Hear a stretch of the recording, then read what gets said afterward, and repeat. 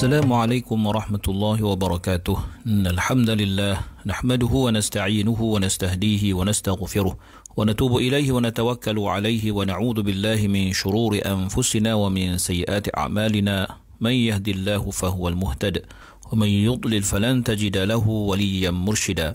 أشهد أن لا إله إلا الله وحده لا شريك له وأن سيدنا محمدا عبده ورسوله وصفيه من خلقه وحبيبه بلغ الرسالة وأدى الأمانة ونصح, الأم ونصح الأمة وكشف الغمة وجاهد في الله حق جهاده حتى أتوه اليقين اللهم صل على سيدنا محمد وعلى آله وصحبه وبارك وسلم أما بعد Muslimin Muslimat sahabat pendengar IKIM yang dirahmati Allah Marilah sama-sama kita mulakan pagi Sayyidul Ayyam ini dengan merafakkan syukur kehadrat Allah Di atas segala nikmat yang Allah kurniakan kepada kita terutamanya nikmat iman dan Islam dan marilah sama-sama kita bersyukur dengan mentaati segala perintah Allah, melaksanakan segala suruhannya dan menjauhi segala larangannya. Mudah-mudahan Allah Subhanahu wa taala sentiasa memberikan taufik dan hidayah kepada kita, memberikan kita kefahaman yang benar tentang kehendak-kehendak Allah melalui firman-Nya di dalam Al-Quranul Karim dan memberikan kita kekuatan dalam melaksanakan segala tuntutan ayat-ayat Allah Subhanahu wa taala dalam kehidupan kita. Muslimin muslimat yang dirahmati Allah, kita berada pada ayat yang ke-43 daripada surah Al-A'raf. Allah berfirman, "A'udzu billahi minasy syaithanir rajim. Wa naza'na ma fi sudurihim min ghillin tajri min tahtihimul anhar." وقالوا الحمد لله الذي هدانا لهذا وما كنا لنهتدي لولا أن هدانا الله. لقد جاءت رسل ربنا بالحق. ونودوا أن تلكم الجنة أورثتموها بما كنتم تعملون yang bermaksud dan kami cabutkan segala dendam dan hasad dengki daripada hati mereka di dalam syurga yang mengalir beberapa sungai di bawah tempat masing-masing dan mereka pula bersyukur dengan berkata segala puji tertentu bagi Allah yang telah memberi hidayah petunjuk untuk mendapat nikmat-nikmat ini. Padahal kami tidak sekali-kali akan memperoleh petunjuk kalau Allah tidak memimpin kami dengan taufiknya. Sesungguhnya telah datang Rasul-Rasul Tuhan kami dengan membawa kebenaran dan mereka diseru itulah syurga yang diberikan kamu mewarisinya dengan sebab apa yang telah kamu kerjakan. Muslimin muslimat yang dirahmati Allah Subhanahu wa taala. Dalam ayat ini Allah menjelaskan kepada kita bagaimana keadaan di dalam syurga nanti yang menggambarkan kejernihan dan kemurnian jiwa dan perasaan serta hati penduduk-penduduk syurga itu. Mana Allah menyatakan bahawa wa naza'na ma fi sudurihim min ghillin tajri min tahtihimul anhar. Bermaksud Allah cabut iaitu Allah mengatakan kami mencabut apa yang ada di dalam hati-hati penduduk syurga itu. Apa yang dicabut? Min ghillin. Al-ghil merujuk kepada perasaan dengki. Perasaan tidak senang melihat kesenangan orang. Perasaan ingin bermusuh dengan orang lain. Seperti mana biasanya berlaku di atas dunia ini. Maka penduduk syurga yang ada dalam syurga itu, hati mereka sangat bersih hati mereka sejahtera, hati mereka penuh dengan cahaya dan penuh dengan kasih sayang terhadap ahli-ahli syurga yang lain. Dan Allah perihalkan juga syurga itu mempunyai sungai-sungai yang mengalir di bawahnya. Mengalir di bawah istana-istana, kediaman-kediaman mewah yang disediakan Allah Subhanahu wa taala kepada ahli-ahli syurga. Menggambarkan situasi dan suasana yang begitu indah yang pastinya tidak dapat dibayangkan oleh kita buat selama-lamanya sehinggalah kita akan sendiri melihatnya di dalam syurga. Lalu ahli-ahli syurga itu akan mengungkapkan suatu kata-kata menggambarkan kesyukuran mereka kepada Allah Subhanahu wa taala. Yang Allah gambarkan di dalam ayat ini, wa qalu alhamdulillahilladzi hadana li hadza wa ma kunna linahtadiya laula an hadana Allah maka berkatalah ahli-ahli syurga itu bersyukur kepada Allah di atas nikmat yang dikurniakan Allah. Alhamdulillah segala puji-pujian hanyalah milik Allah Subhanahu wa taala. Allah yang maha berkuasa Allah yang maha memberi petunjuk. Alladhi hadana li hada yang telah memberikan kepada kami petunjuk hidayah di dunia. Yang memberikan kami petunjuk kepada keimanan dan kepada amal soleh yang memungkinkan kami mendapat rahmat Allah. Dan dengan rahmat itu juga Allah masukkan kami ke dalam syurganya.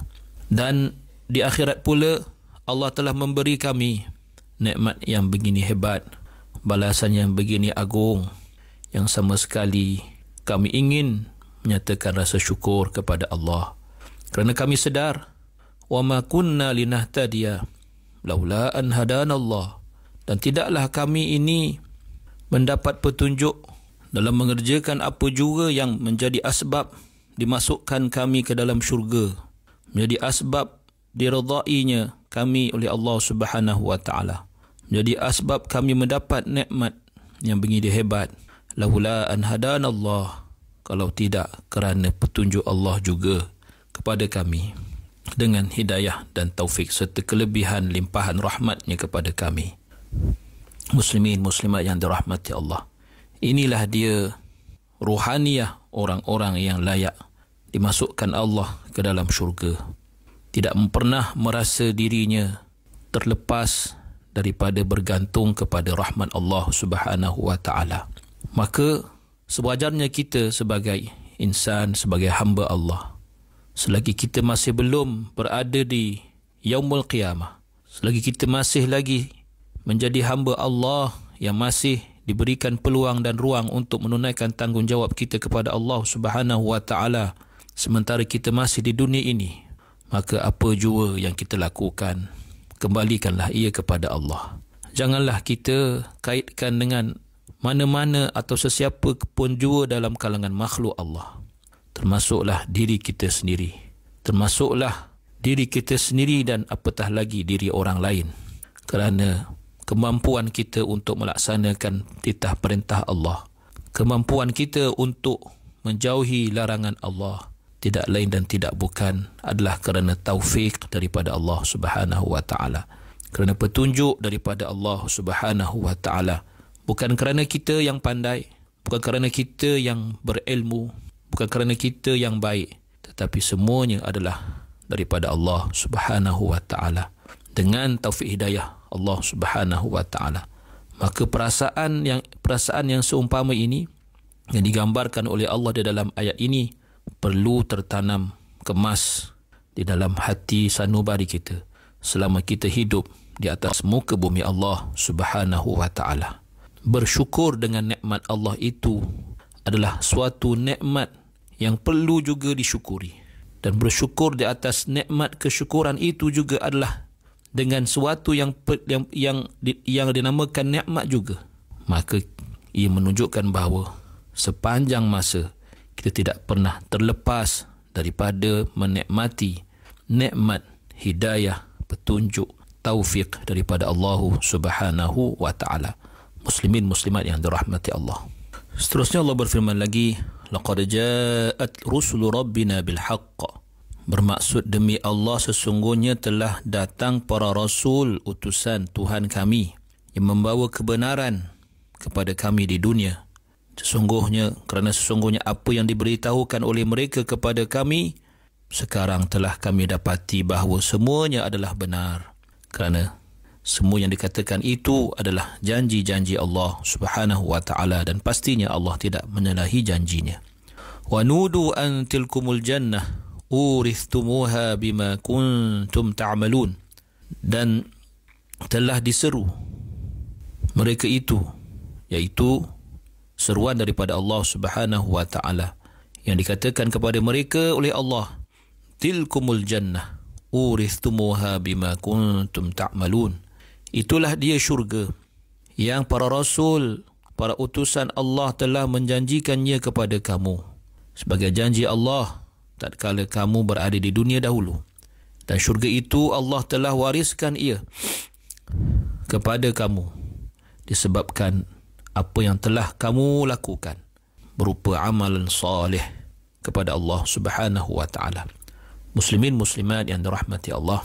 Ayat ini jelas menunjukkan bahawa sesungguhnya syurga itu akan diperolehi oleh orang-orang yang beriman disebabkan amalan soleh yang mereka kerjakan. Sekiranya dipersoalkan tidakkah di sana terdapat hadis-hadis yang sahih yang menjelaskan bahawa masuknya seseorang itu ke dalam syurga ke dalam syurga bukan disebabkan amalannya tetapi kerana rahmat Allah tetapi kerana atau disebabkan oleh limpahan kurnia Allah di antaranya hadis daripada Al-Bukhari dan Muslim daripada Abu Hurairah radhiyallahu anhu Nabi sallallahu alaihi wasallam bersabda la yadkhula ahad lan yudkhila ahadan amaluhu al-jannah tidak akan sekali-kali seseorang itu dimasukkan oleh amalannya ke dalam syurga. Qalu wala anta ya Rasulullah? Mereka bertanya, adakah engkau juga ya Rasulullah? Qala, jawab Nabi sallallahu alaihi wasallam, wala ana aku juga begitu. Illa an yataghammadani Allahu fadlihi wa rahmatihi. Melainkan apabila Allah melimpahkan ku dengan rahmatnya dan kelebihannya. Maka bagaimana kita hendak melihat atau bagaimana kita hendak memahami isu ini seolah-olah terdapat pertentangan di antara ayat Al-Quran dan juga hadis Nabi yang disebutkan tadi maka jawapannya adalah kerana yang yang dimaksudkan di dalam hadis ini bahawa amalan manusia itu tidak akan menjadi faktor ia dimasukkan ke dalam syurga. Bahkan masuknya seorang itu ke dalam syurga adalah semata-mata kerana rahmat Allah. Dan amalan itu merupakan suatu faktor yang biasa yang bersifat zahir semata-mata. Maka ia membawa maksud bahawa betapa hebat pun amalan seseorang itu maka ia hanyalah suatu suatu nilai yang sangat yang sangat sedikit jika disebahkan dengan keagungan dan kebesaran nikmat atau balasan dimasukkan ke dalam syurga itu maka kemasukan seseorang ke dalam syurga itu suatu yang sangat mahal dan sama sekali tidak layak untuk dibeli dengan atau hendak ditukar ganti dengan amal soleh seseorang insan walaupun atau bagaimana hebat pun, bagaimana banyak pun amalannya. Maka amal soleh itu bukanlah selayaknya menjadi tukaran untuk membeli syurga Allah Subhanahu wa taala. Tetapi kerana limpahan nikmat atau rahmat yang membeli itu mengizinkan untuk orang yang dikasihinya dan dirahmatinya dengan menjadikan amalan mereka dan harta mereka yang semua itu adalah suatu yang musnah menjadi harga ataupun menjadi tukaran bagi suatu nikmat yang kekal selama-lamanya. Kerana itu Abdullah bin Abbas tatkala membaca firman Allah. Dalam surah Taubah ayat ke-111 yang berbunyi a'udzubillahi minasyaitonirrajim innallaha ashtara minal mu'minina anfusahum wa amwalahum bi anna lahumul jannah. Bermaksud sungguhnya Allah memberi maafkan saya sesungguhnya Allah membeli daripada orang-orang yang beriman itu. Membeli diri mereka dan harta-harta mereka dengan tukaran sesungguhnya bahawa syurgalah buat mereka. Ibn Abbas menyatakan bahawa ayat ini menunjukkan tentang pertukaran yang sangat hebat di antara Allah Subhanahu wa taala yang sudi membeli amal soleh daripada hambanya yang pasti tidak boleh membayarnya dengan syurga tetapi Allah dengan rahmatnya Allah dengan rahim dan rah, rahman dan rahimnya sudi menukarkan amal salih iman dan amal salih daripada hambanya dengan syurga yang begitu hebat. Semata-mata kerana rahmat Allah subhanahu wa ta'ala. Muslimin muslimat yang dirahmati Allah. Mudah-mudahan Allah golongkan kita dalam kalangan ahli syurga firdaus. Amin ya rabbal alamin. Aku qawli hadha wa astaghfirullah al-azim li wa lakum. Wassalamu alaikum warahmatullahi wabarakatuh.